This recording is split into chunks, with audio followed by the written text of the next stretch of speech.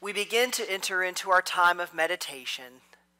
So I invite you now to place your feet gently on the floor, allowing yourself to become rooted to Mother Earth.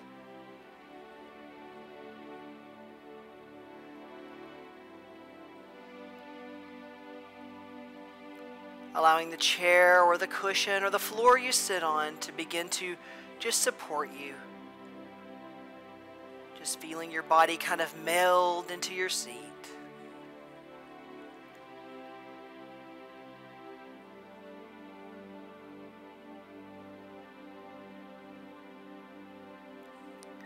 Beginning to bring our awareness to the breath. Allowing it to just gently flow in and gently flow out of the body.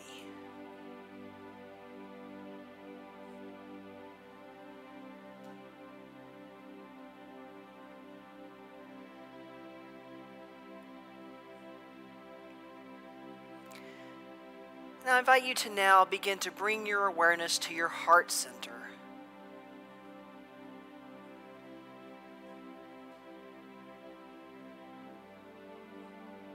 that heart space where love resides.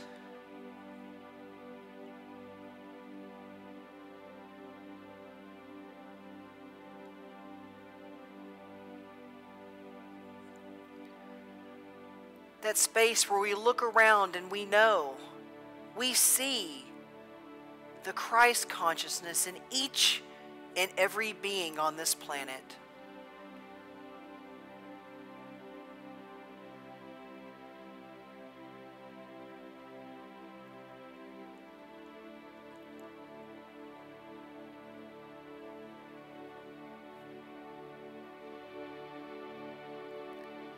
Place where we hear song in the midst of what could otherwise be sorrow.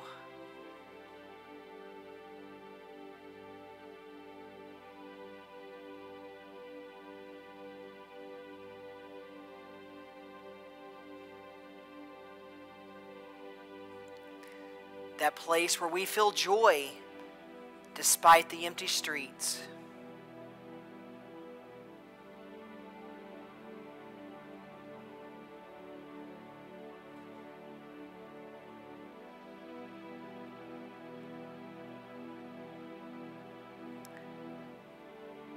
That place, that space where we feel gratitude for all of those who have stood up at this time and said yes.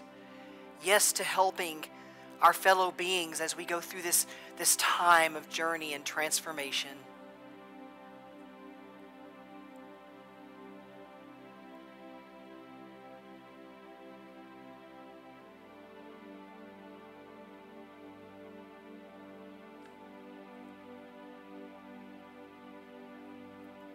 This space where we feel gratitude for ourselves for having said yes.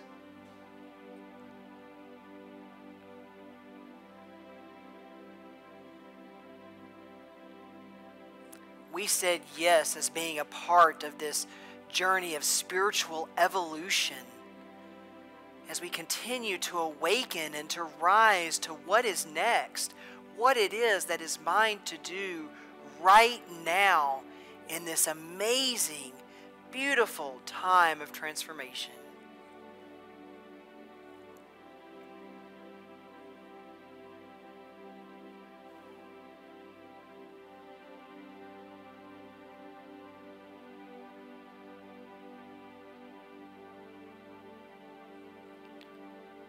There is still love. There is still joy. There is still kindness.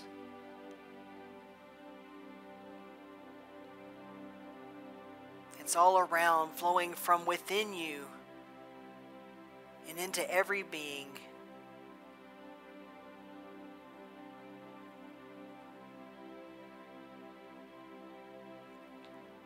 And I invite you now to just, as we prepare to enter into the silence, to just take that gratitude and just allow yourself to feel it. Feel it for those healthcare workers that are saying yes, and for all the people, the people who are delivering our pizzas, the people that are working at our grocery stores, to ourselves for just our willingness to be here during this time. And as we enter into this silence, I invite you to just allow yourself to bask in that gratitude, to bask in knowing that you are here to take this planet into the next phase of this beautiful spiritual evolution as we enter into our period of silence.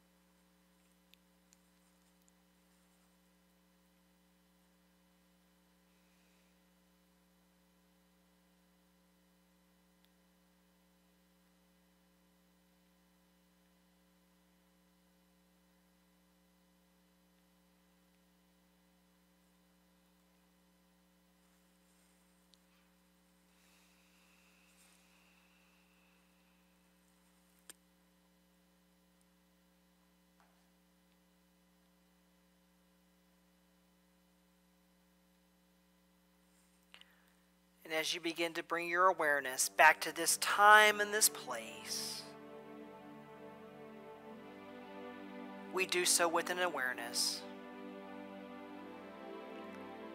An awareness that in that heart space where all that gratitude and love and peace exists, so does the God within.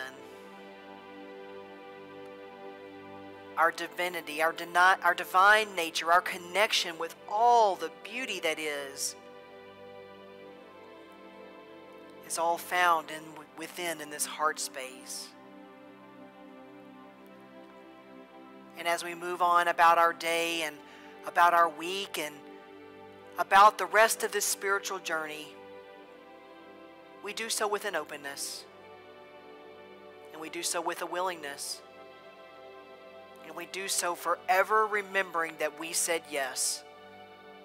That we are here as a part of this magnificent transformation. You said yes.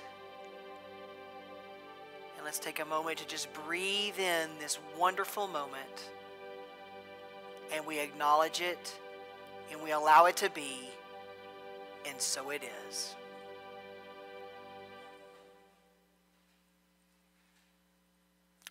And now I invite you to continue these feelings of joy and these feelings of gratitude as we move into our time of a new life.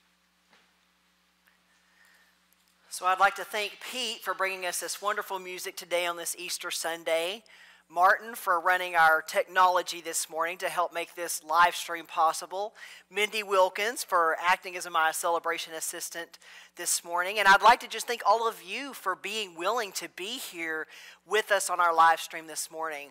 I would also like to welcome two very special guests that I know are also streaming in with us this morning my parents. So they are streaming with us live from their home yeah, live from their home in Texas this morning, despite the tornadic type of weather that they're having today. So we want to welcome them, them and thank them for tuning in as well. So happy Easter, everybody. Happy Easter 2020. It, uh, you know, I don't think I have to tell anybody here that it's not quite probably what we thought we would be doing for Easter Sunday, but you know, it's what is right now in this moment, and we are going to make the best out of it. We're going to have a great Easter regardless, right? Because we are here in this moment and we're going to celebrate it together. So, if anybody has tuned in my, to my talks before that knows me well at all, knows that I have just random songs pop into my head for the most random of reasons all the time. I can't remember what I was singing this morning at the apartment, but Mindy's like, Where in the world did that come from? It was something from the 80s. I don't know what it was, but anyway. So there's this uh, this one song that kind of when I was writing this talk the other day that that came into my mind, and it was a song that I really liked when it first came out. And I still occasionally will still listen to it, but I think it came out around 2008, 2009, and it's a song by a group that you may or may not heard of. They might have been kind of a one hit type thing, but they were called Seether. And the name of the song, I think it kind of came to me because the name of the song is Rise Above This.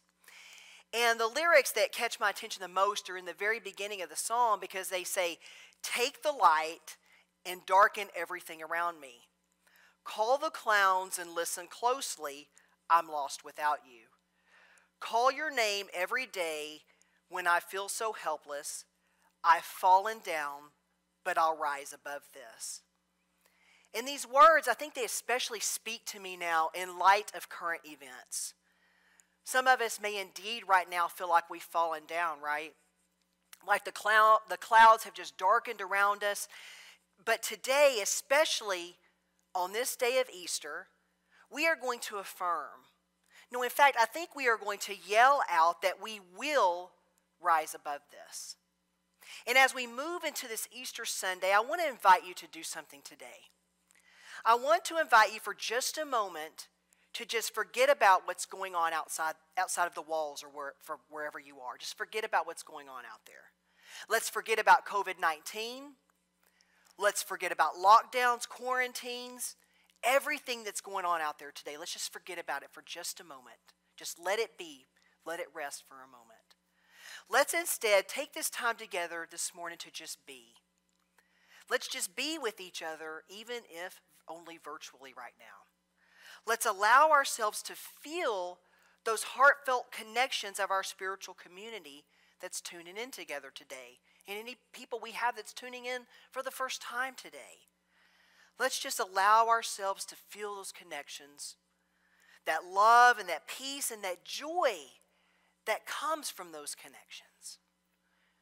I invite you to just sit back today and to think about the ways in which you can rise today on this Easter Sunday. So, and with Easter, I don't think there's probably one of us out there that isn't aware that there was a story behind Easter, right? It's not just some obscure thing that pops up once a year and we're like, hey, we get to go hunt for eggs and dye eggs and all of that kind of stuff. I think we're aware, especially if we've been into a church before, that there is a story behind it. Now, traditionally, this story is based around Jesus, right? The story tells us that he was crucified and killed by being nailed to a cross between two thieves, and then placed into a tomb only to rise, also known as the resurrection, three days later. Now, I remember learning at tra- the traditional church that I grew up in that the crucifixion of Jesus was an inevitable event. And that it was one of the main reasons into which Jesus entered into this human experience in the first place. And that was for our salvation, according to the traditional church, to give us salvation or eternal life once we've passed from this human experience. The Gospels in the Bible, I'm referring to Matthew, Mark, Luke, and John, also have their own viewpoints of the story. But all pretty much conclude that Jesus was crucified due to a more religious rather than a political crime. Now, it was also said that right after Jesus died, that the earth shook and rocks just split open. The guards standing by when this happened were said to have acknowledged it, and they said, according to the Bible, surely he, referring to Jesus, was the Son of God. So I want to take this story and I want to delve a bit deeper, and I want to refer to an Easter talk by our Unity co founder, Charles Fillmore, an Easter talk he gave in the year of 1914. Now, Easter is a really big day in our religious and many spiritual communities as well. Today, I realize that we may have some new people tuning in that haven't perhaps attended a Unity church on Easter. Now, refer back to the Easter talk of Mr. Fillmore because of his approach to that talk.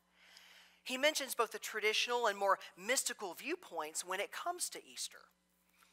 For our more traditional counterparts, Easter is a day of hope, glory, and celebration. But Charles Fillmore felt that this viewpoint talks more about what happens after death, after we leave this human experience. He stated that according to the traditional viewpoint, the story tells us Jesus was the Son of God, that he was crucified, died, was resurrected, ascended into heaven, and sits at the right hand of the Father as one of the judges of men, and that his death was to save our souls. Then we've got this other standpoint that Charles Fillmore referred to more as a mystical standpoint, one in which also brings about hope, glory, and celebration, but according to Mr. Fillmore, doesn't focus on so much about what happens after death, but more about right now and about how to live. Now, I'm not saying that the traditional view is wrong and that ours is the only right way. I'm not alluding to that at all. I encourage everyone to be with whatever it is that brings you the most comfort and that feels the most right to you. So I want to circle back around to the resurrection of Jesus and those events that happened shortly before, and I want to start with the crucifixion. Now, in the Metaphysical Dictionary, Charles Fillmore describes crucifixion of Jesus as the giving up of the whole personality. So, first, it's important to understand that we've each one of us has this dual thing kind of going on at any given time, all the time, actually. We've got personality and we've got individuality. Now, it's important to note that many metaphysicians feel that the personality is that which changes. It's this ever evolving part of us that is subject to change and that does change, maybe from minute to minute, maybe from day to day, even maybe down to the, you know, the tiniest second each and every moment. And it's not really viewing things through a spiritual lens. It's more about viewing the world through that which our physical eyes can see. Simple terms might be who we are at any, who we even are at any given moment. Maybe take your career for instance. One day I personally was a technical writer, now I'm a minister. Tomorrow I could be something different. It changes. It cha- it's something that changes. Individuality is a little bit different, however. It is the spiritual I am of who you really are, and it never changes. It was there before I entered this human experience. It is with me now, and it will remain with me when I make my transition from this experience. Individual, individuality, if I can talk this morning, never ever changes. It is that unlimited spiritual consciousness. And we can call it different things. We've probably even heard to it referred to as different things the Christ consciousness, Buddha consciousness, super consciousness, God consciousness. And right now, though, it's really easy to be living from that place of personality. We turn on the news, we scroll through social media, we talk to people, and we see this, this pandemic that's going on in the outer world. It's this pandemic that's sweeping the entire planet. We may feel worried, we may feel afraid for ourselves, our families, and our friends, even possible future outcomes. You know, what are things going to look like when this is over? Will the world be the same? Will I be okay? Now, the story of Jesus' crucifixion tells us that even Jesus became afraid. He was very much just like you and I when it came to personality and individuality. He also had this same dual thing going on within himself. It is said in the Bible in Mark 15 34 that Jesus cries out, and this is in Aramaic, Aramaic Eloi, Eloi, Lama Sabutu Ni, which means, My God, my God, why have you forsaken me? But despite being afraid, Jesus knew. He knew that he came here destined for something greater than what his physical eyes could see. And he knew that on the other side of that fear, he was going to transform, he was going to grow, and he was going to rise into something different and something new. And he knew at that time that we could too. Now, it's obviously highly unlikely that any of us, quite thankfully, are ever going to experience a physical, physical crucifixion.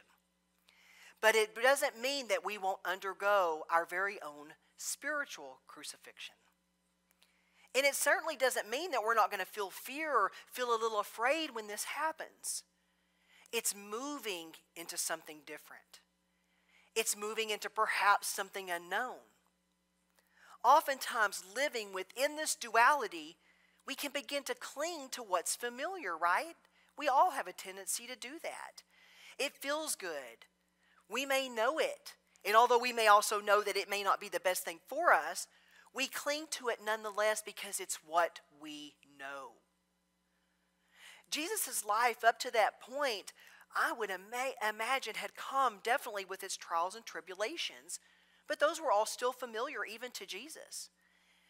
However, the time had come for him to move into something different, a new way of being. The Bible foretold that this was the destiny of Jesus, and I believe it's ours too. I believe it is also our time to choose to rise up, to move from living within just the mindset of the personality into the one that's based more within individuality, the place of our Christ or our divine consciousness within. Now, one of the ways in which I personally feel we're being called to do more is to stop seeing ourselves as being separate from one another.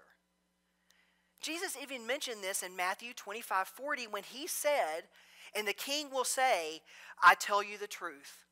When you did it to one of the least of my brothers and sisters, you were doing it to me. And my gosh, what a perfect time to practice this.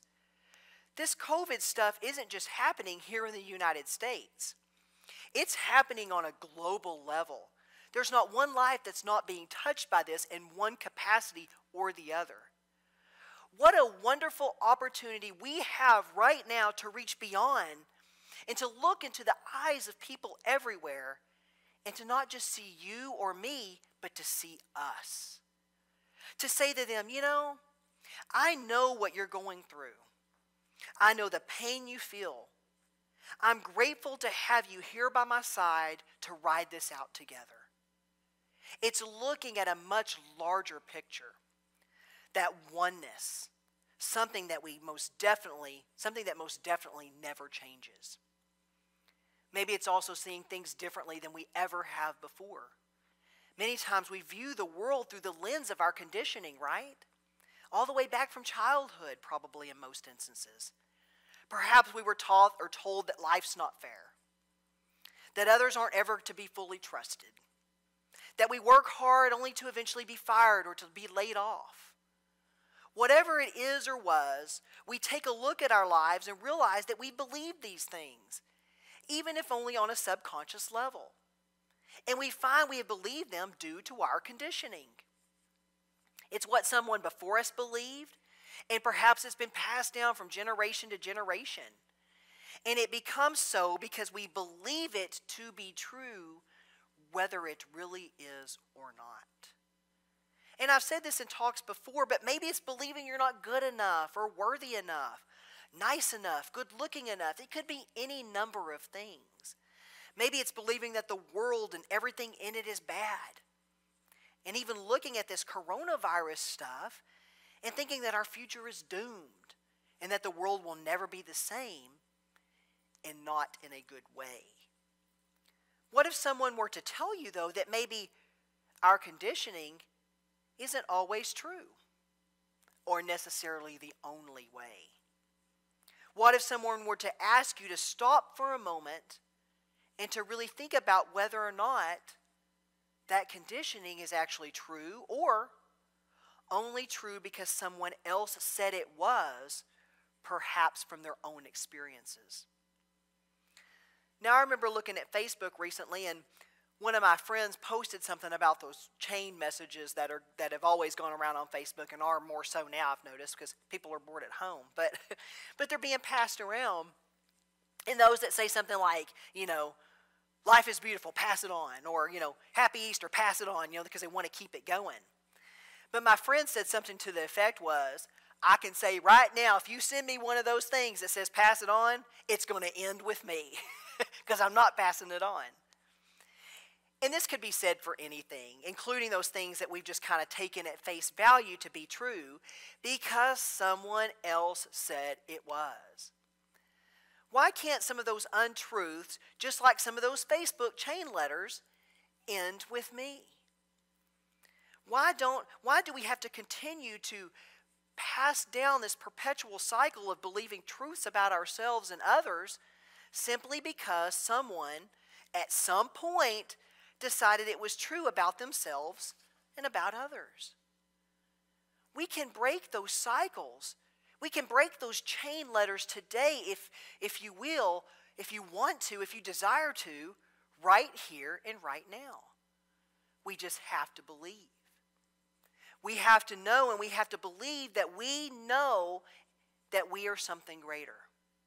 We have to make the decision to stand up and say, enough and make the decision to rise. Martin, you can go ahead.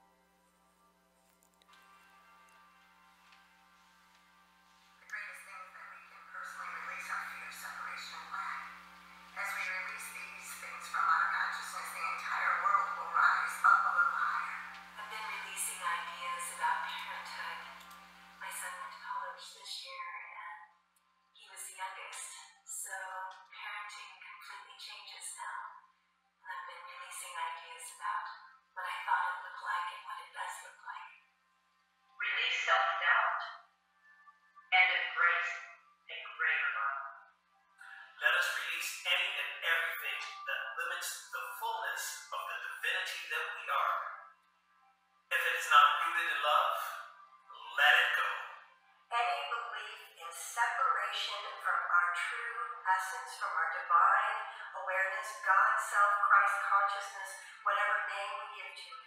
Lay it on the altar of your heart and let go and allow God to unfold good. And we can also ask, is this something I need to be in relationship with in a different way? It's a good insight to help us recognize when we need to release something. We are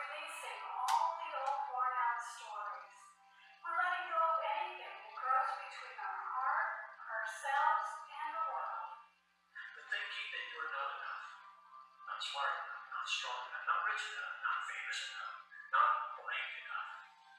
Because the truth of who you are is enough.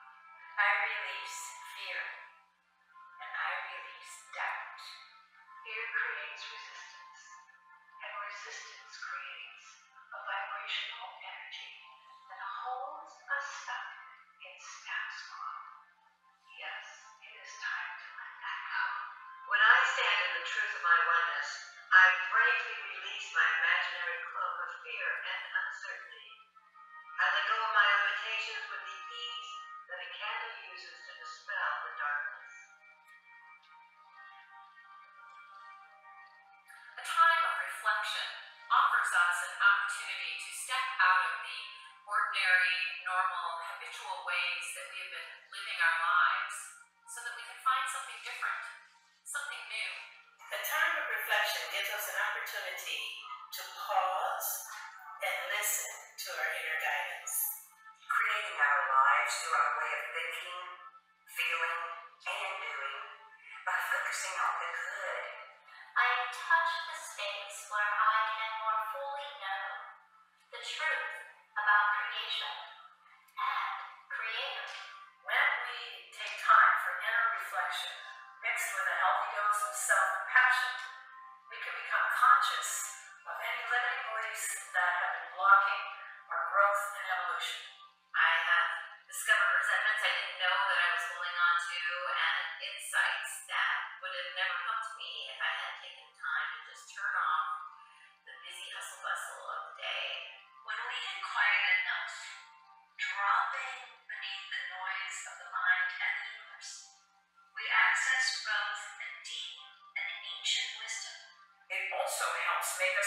self-aware, and more in tune with the divine rhythm and flow of life.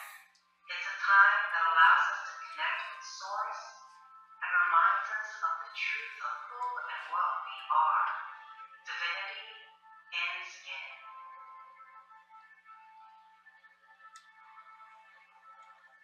We are rising up into a new reality, a new way to connect with each other, heart to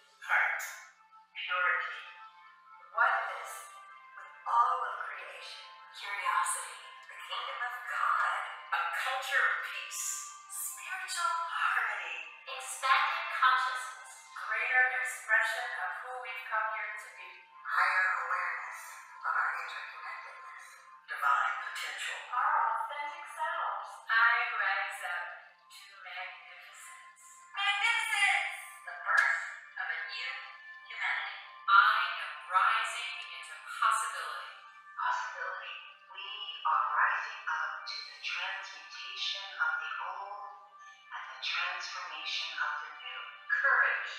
Self empowerment. Rise up as God. The joy of community. The joy of unity.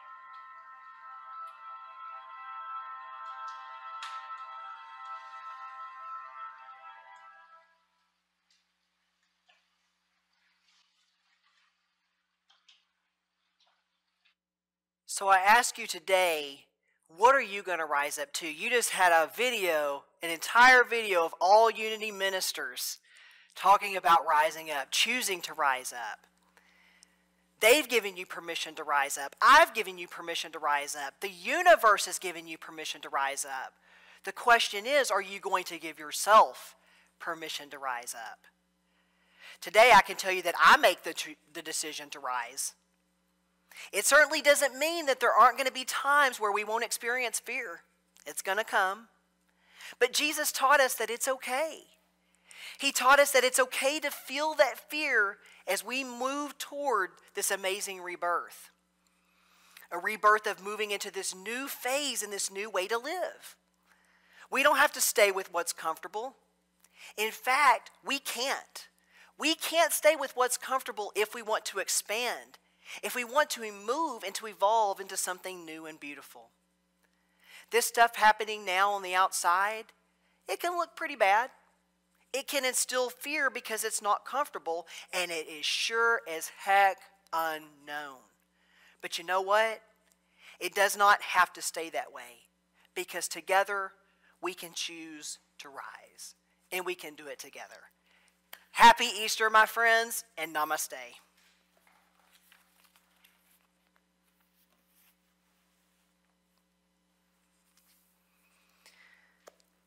Okay, and now, seems kind of anticlimactic to go from the message all of a sudden into now, but I was just going to really quick just give some uh, some announcements, some Unity Weekend updates really quick before I um, before we move into our offertory period.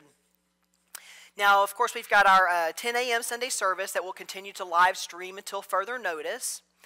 And we have our Food for Spiritual Thought class, which is after this service at 1145 on Zoom. And we are currently studying Divine Audacity, so I hope you will join me with that. We have our midweek prayer circle with uh, Josie Collins on Wednesdays at noon. That's on Zoom as well. We've got our virtual lunch on Thursdays at noon. And that is just kind of where it's just kind of a we don't really have an agenda. We just kind of get together and talk a little bit about things that might be things that we've learned during this time, new skills that we've learned, or even just to kind of get some things off of our chest, just to kind of do that with our spiritual community. And we've got now the Friday group is it's called uh, Fellowship, and it's a drop-in group, and it's now also streaming via Zoom. It meets on Fridays at 10 a.m., and you can contact Diane Gould or Ann Schwartz for an invitation to that on Zoom. We've got now our early morning prayer meditation uh, uh, service, Sundays 8:30 a.m. That's on Zoom, and then Youth Ed is on Zoom as well at 10 a.m. Please email Helen Kenyon at youthed at unityofmadison.org for the invite and the Zoom link and password to that. And of course, if you have any questions, you can contact the office, or if you need any assistance or need any of these links, we can help you if you just contact the office. Okay, and now I want to move into our offertory time. And I want to first thank you all for your generous donations that have continued to come in. It's so very important since we've still got you know the building to maintain and we've still got this wonderful staff that's that's still putting together these Sunday services and I thank you so much for your generous donations for that. So I, I definitely thank you. I'm very grateful for that from the bottom of my heart. So today, while you're preparing your tithes and offerings, I remind you to stay connected during these times via the, the uh, announcements that I just gave or our Facebook page. And to join me each Thursday at noon for that virtual lunch I was I was talking to you about. We have really made some connections on there, I feel, and kind of gotten to know each other a little bit better. And also remember that Silent Unity is standing by to support you with prayer 24 7. They never leave that post, they're always there. So definitely feel free to connect with them. So I invite you now to please take your tithes and offerings in your hand or hold them over your heart as we say together our offertory blessing. Divine love, through me, blesses and multiplies all that I am, all that I have, all that I give and all that I receive. Thank you, God. And now I invite our virtual